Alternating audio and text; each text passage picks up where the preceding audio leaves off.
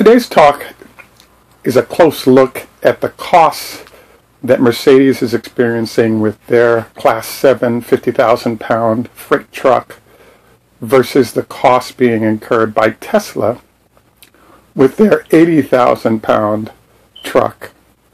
And I think you'll find the, the results kind of interesting.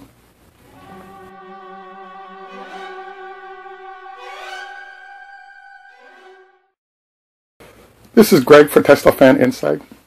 Bonjour, wie geht's? Guten Tag, ni hao.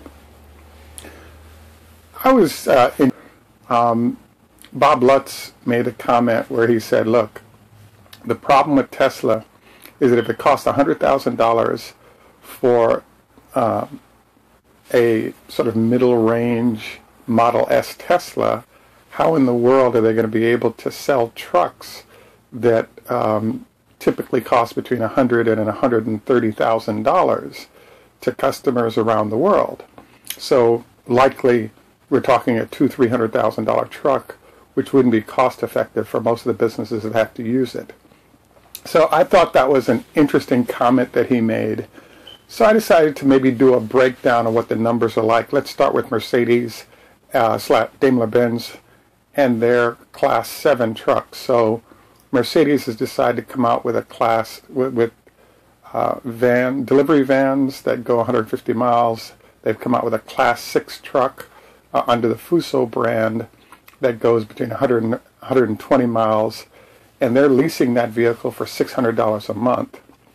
And then now they've come out with a Class 7 truck, which is capable of 50,000 pounds of freight, and they're saying the range on it is someplace in the um, 200-ish plus or minus 20 mile zone.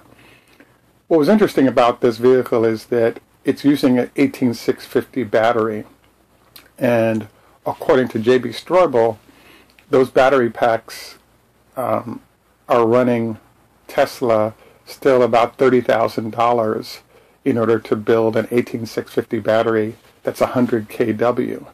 So Mercedes is definitely using three of these packs, but possibly four. And let's say that the cost per unit is about $30,000 per pack times four. Um, we're talking 120K, and this is just in batteries. Again, from JB Straubel, there are four, let's say, Model S engines in there. So let's say that's another 20-ish, maybe 30K. So now we're up to about $150,000 for that vehicle. And then now we have to do the rest of the truck, and that's the, you know, the rear of the truck and, you know, the front and electronics and all that. So one could argue that's another minimum 20 grand, possibly $30,000. So out the door, what we're facing with the Mercedes Class 7 truck is about a $200,000 bill for a vehicle that goes about 200 miles and totes about 50,000 pounds of vehicle and weight. And so the question is, what's the deal on this and how do customers react and does it make any sense? And the answer is they've been testing these vehicles in Stuttgart, Germany successfully, and uh, they're now rolling them out with customers around the world starting to buy them at those higher prices one of the answers to those high costs is to actually go for a leasing model instead of selling them. That way you can, in theory, um, most companies tend not, you know, tend to lease, not buy, and I guess you could add up benefits that are associated with that. What's fascinating to me about how those numbers are working is that um, when you reduce uh, operating costs, be it fuel, as well as repair costs by, let's say, 70%, the 200K, which is almost double what you have to pay for a comparable diesel truck, doesn't look as bad. Plus, you can meet government mandates regarding pollution, etc. So, bottom line is that if you go through what the numbers look like, that three times better efficiency from coming from electricity versus using diesel to power the truck eliminates pollution, reduces cost enough so that even though you're facing a big bill to pay for the initial vehicle, customers are signing up. In the case of the the Class 7 uh, diesel, Class 7 Mercedes under the Fuso brand, um, they're just rolling it out right now, so we don't know what orders are like uh, based on the prices we just described. But it was kind of interesting because in the case of the Class 6 truck under the Fuso brand, the large customers who are allowed to try them out have all been like, we'll take as many as you can make. And so this despite the fact that they're using definitely two, but possibly as many as three um, 100 kW battery packs from a Model S inside of those trucks. So even in the Class 6 version, people are facing a 100K bill um, for battery packs, and then they build trucks up from there. So let's say it's $125,000 versus them paying 60 to 80K for that vehicle originally. And again, Mercedes has chosen to go for a $600 a month lease as these are being, being rolled out, but initially only to big customers. I want to give a shout out quickly to my friends who are uh, constantly on my case about, you know, where do you get your info from, et cetera, et cetera, and note that, you know, Mercedes is um, is gone for the $600 lease price which really eliminates the whole discussion of what it costs to buy because uh, that's not transparent. The shout out to my angry uh, customers goes to the fact that uh, Mercedes is saying delivery times for orders that they've received is someplace in the middle of next year, even though they've been working on the truck for 10 years. And the issue is that they're building new plants to handle the production for these vehicles. And what's happening is Mercedes is transitioning over from using Tesla batteries into using their own first drivetrains, then batteries as they can. And it's my sense that based on them not putting all the product on the street that the customers want right now, that they actually are still buying batteries to, to provide solutions to customers and don't have the ability to produce at scale yet these solutions so that um, anybody wanting one can just walk into the store and purchase it. You do have to give Daimler-Benz credit though, because versus where Tesla's at and sort of still the test phase and even Cummins, they deserve a lot of credit because they've been testing it aggressively in different settings and they're now taking orders and have it in customer hands and being used in a, in a visible way, which is very different than everybody else. So they've just gotten to market earlier than anyone and they deserve credit for that. I wanted to then now so let's say we build up a class 7 truck, 50,000 pounds of carrying, on a Mercedes platform, which is an 18650 battery.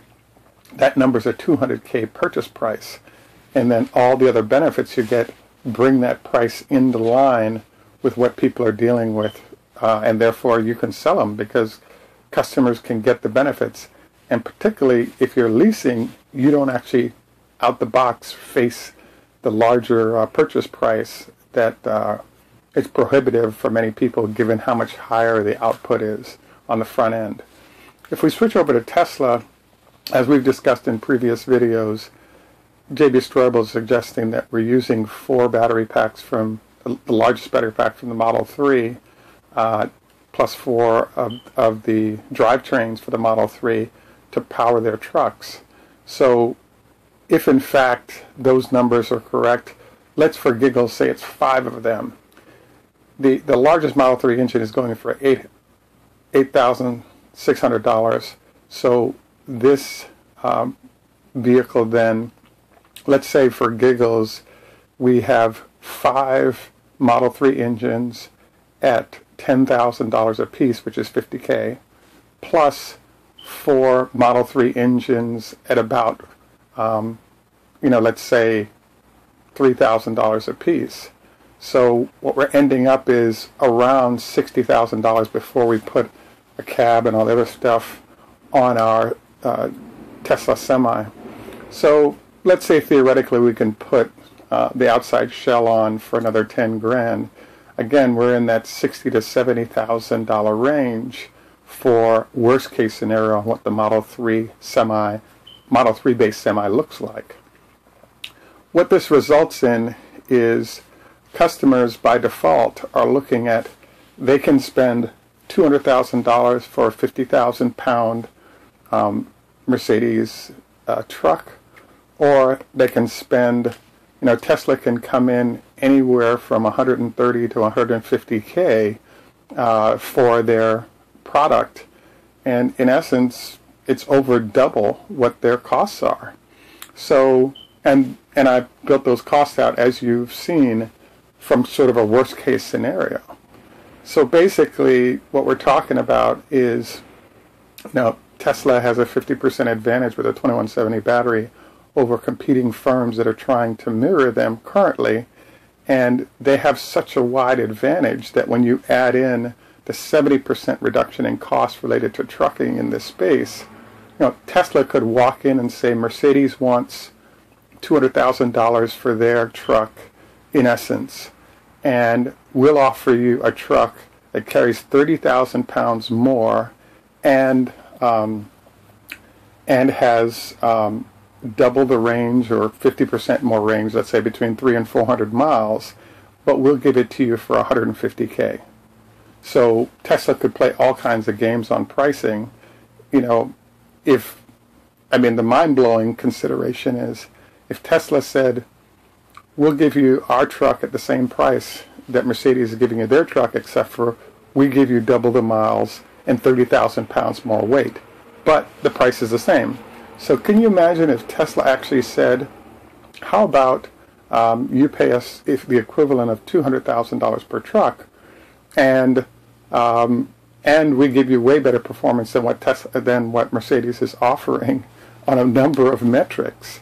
And in the meantime, the profit margin is the dif- distance between about $65,000 and $200,000 or per truck profits up in the $130,000 per zone, which is wow, that's pretty mind-blowing to be able to get that kind of margin and also have your customers getting solutions that provide uh, a great value.